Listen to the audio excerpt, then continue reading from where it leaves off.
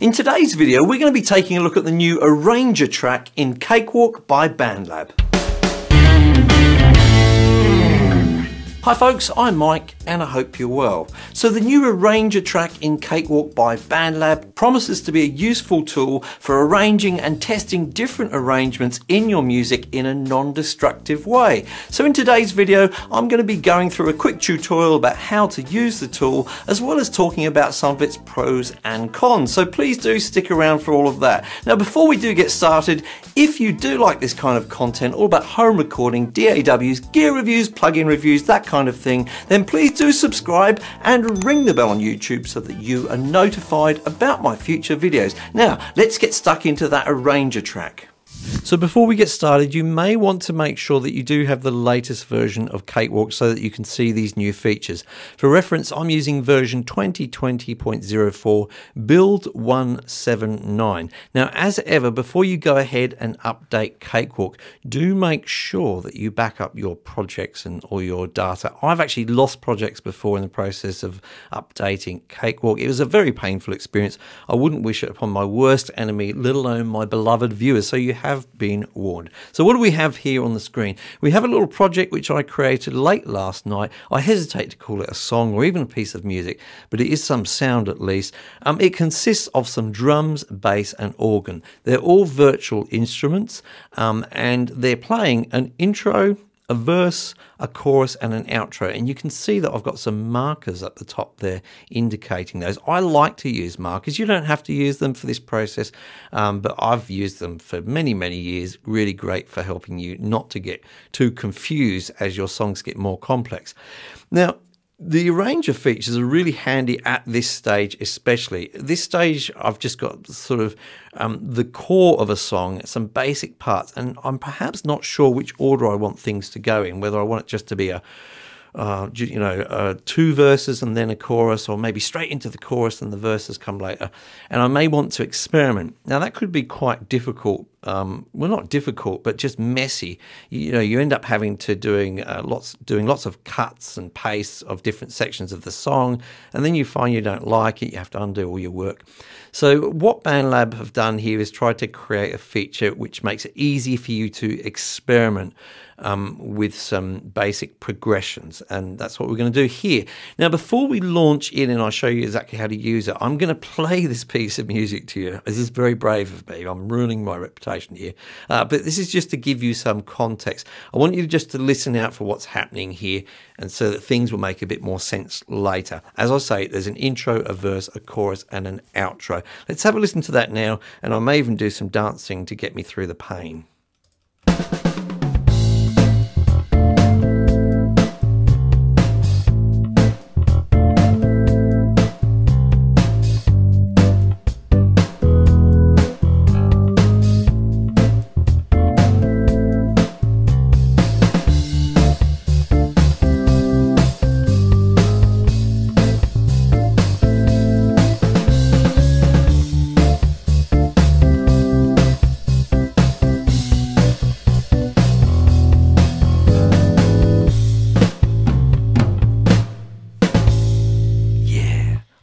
I know. Amazing, amazing.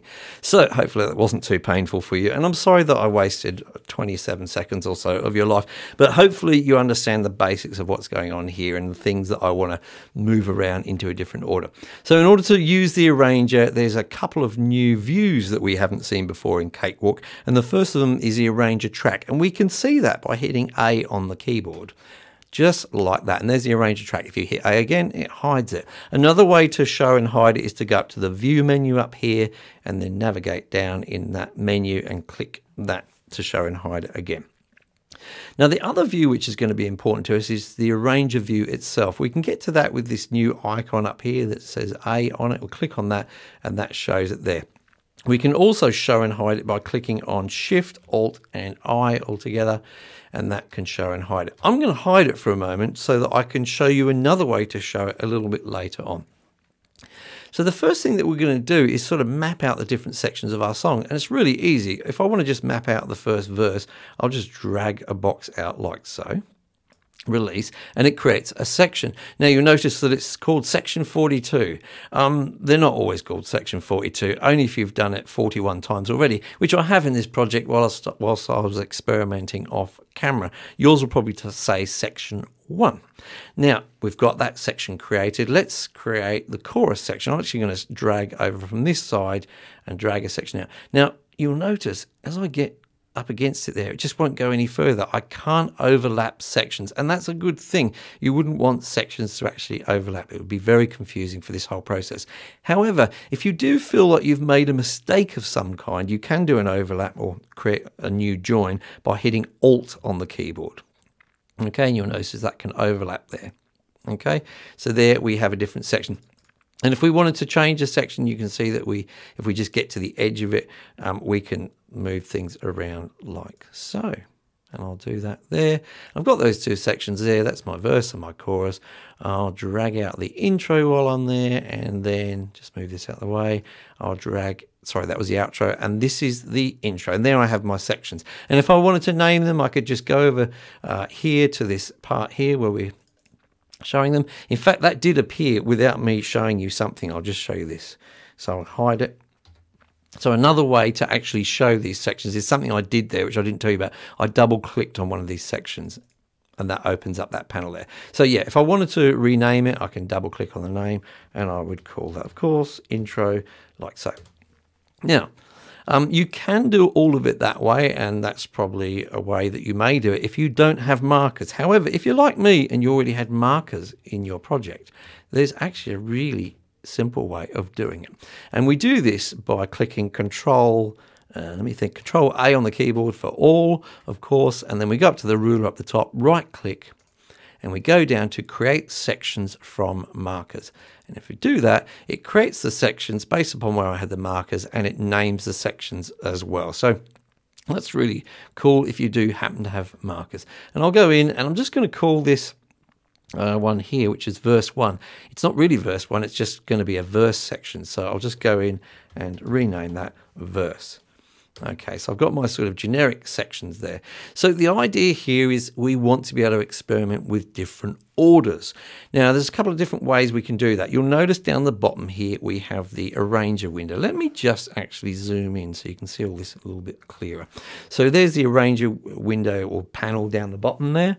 And I'm going to just click on this button, this sort of down arrow button. That's just moving all of the sections down into the arranger window. Now I can duplicate some of them. If I wanted to have two verses there, I could go to this menu and click duplicate.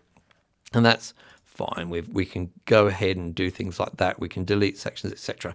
Or the other way that we can do it is just drag sections from the top to the bottom using it kind of like a palette. So, so I think, you know what, this is going to be the radio ed, you know, edit. I don't want any intro, just launch straight into the first verse. So I'll put the first verse there. And in fact, you know what, I'm not even going to do that. I'm going to, sorry, I'll go in there and remove that. I'll actually start off with a chorus to begin with. So I'll drag my chorus down to there, it's going straight in, and then it's going to go to a verse, and then it'll go to another chorus, and then it'll go to an outro. We won't even use that intro for this radio edit. Now, um, I can rename that here. We'll call it radio. Well, just call it radio. It's fine. And then uh, we can play it just to see how it sounds. So I'll just click on the play button here, and you'll see, obviously, even if we move the playhead right back to the beginning there, if we play this, it's going to start off with the chorus. Now, if you haven't guessed already, when it gets to the end of this chorus, where do you think it's going to go? No prizes. Just guess for fun. It's going to go to verse. Okay, so you can see what's going to happen. Essentially, what this feature does is it controls the playhead. It just is a way of navigating it while it continues to play to different sections. So that's really, uh, really, really cool. Now, you may think, well, I, I don't mind that version, but how about I have another version? So I'm going to go here and create a new arrangement here. We've still got that one that we uh, created earlier. And I'm going to have this for the album version. The album version is going to have an intro, a verse, a verse, a chorus, another verse, and then the outro. Okay, that's cool. We'll call that album version. And of course, we can go ahead and play that. It's gone ahead and done that as I suggested. I want to go back to my radio version, then that's already down there, the radio version. So you can go ahead and make as many versions as you like. Well, I say that, I'm not really sure about that. I'm to, my understanding is that you could make as many as you like, lots. So once you've done that, that's really cool. You can start to play around with those and experiment with it, and you're not having to do any editing here. Now, one thing I just love about this feature right away is I actually really like it as a navigation feature. I, I, could stop using markers and start using this this feature. I love the the boldness of it. Uh, by the way, you can change those colors if you want. You can just go in there and select a different color for a section. But if I just want to go, I want to navigate to the first verse, I could just click on it there, and the playhead goes there. If I want to, so I just want to go to the chorus. I could click on it there, and so on and so forth. So I think that's a really nice way to navigate. I kind of like that.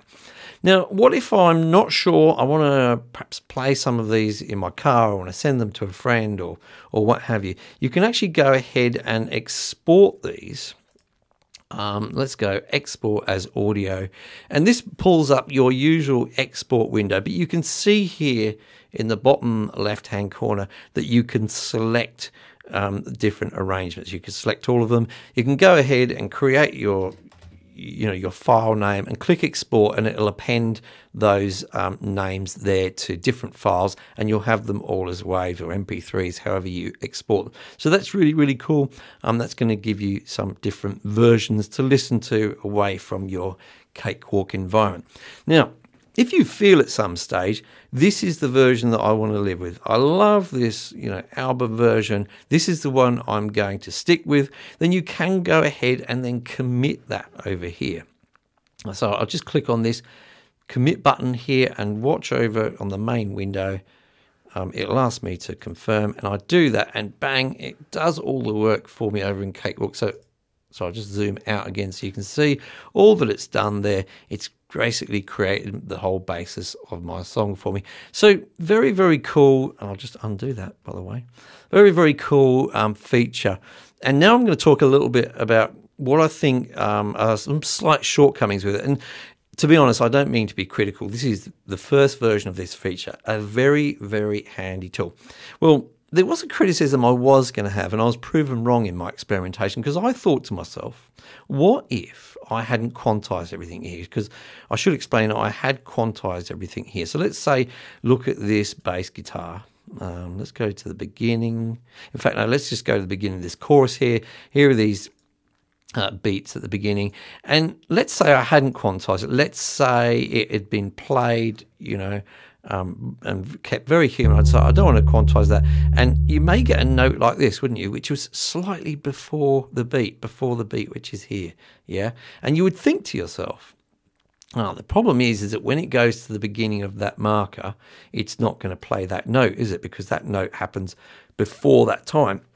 But in actual fact, I was proved wrong by this. Um, if I just go to the chorus there and I play it, you heard that bass note there. So um, I think this has always been the case in Cakewalk, but I just haven't noticed it before. It works as long as it doesn't matter if that note starts before the beginning of that beat, as long as it does overlap that beat. So if the note is completely outside of that time, of course, it's not going to play it. Yeah, if I play the chorus now, it doesn't have that note there. But as long as some part of that note is overlapping that little beat there, yeah, it plays it, and that's fine. So that was something I was expecting to be a problem, but it wasn't. Now, the only thing I think this is not a problem, but I did experiment with this on an actual song, a kind of a complete song. And you do get some slight issues because of the nature of music. Um, so you've got some vocals in there, and um, it's all very well if, say, those vocals start within a bar. So the vocal either starts right at the beginning of the bar or sometime after that bar starts. But sometimes you'll get some lead in phrases which lead into, say, a chorus. It might be a couple of beats before the beginning of the bar. So, of course, when you've got a vocal there and you start chopping up these sections like this, that doesn't quite make sense. So, if I was going to suggest anything um, for the future, um, of this feature, then I would suggest that you could have a kind of a, a pre-roll on selected instruments so that you could create your section, but an interface somewhere you could say, hey, for that vocal track, I want a one beat pre-roll on that. Something along those lines. That would be really, really cool if you could do that.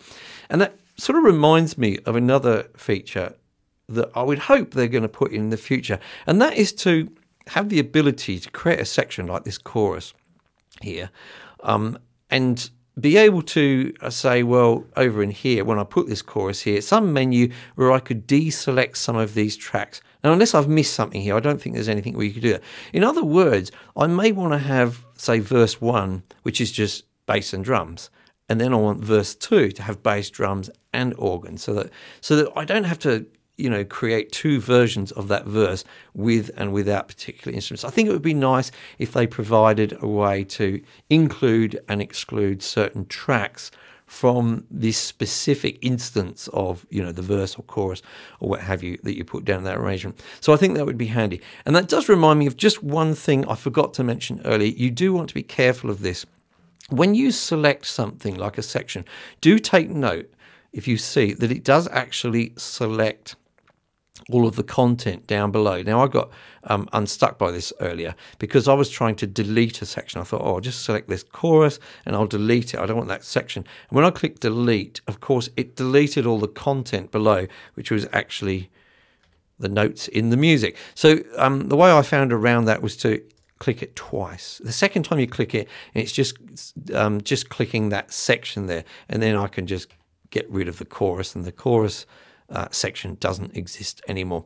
So I think that's it for this sort of little introduction. I've only been using this a little bit for the last few days myself, but I do hope that that's helpful to you. Um, let me know in the comments down below what your thoughts are on the feature. Let me know if you've given it a go. Let me know if you're going to use it, if you're going to make use of it, and um, whether there's any uh, ideas that you've got that perhaps if we're lucky, BandLab might read some of our comments and uh, take note. You never know. We can live and dream. So I do hope that you found this video useful. If you've got any questions whatsoever, please do ask in the comments down below. Or you can head over to the Creative Sauce forums and ask there. There's a link for that down in the description. Now, if you did like this video, make sure you hit the like button. That's helpful to me because it lets YouTube know that other people should watch this video. If you didn't like this video, make sure you hit the dislike button twice. And if you like this kind of content, then do make sure you subscribe and ring the bell on YouTube so that you are notified about my future videos. And I'll see you in the next video.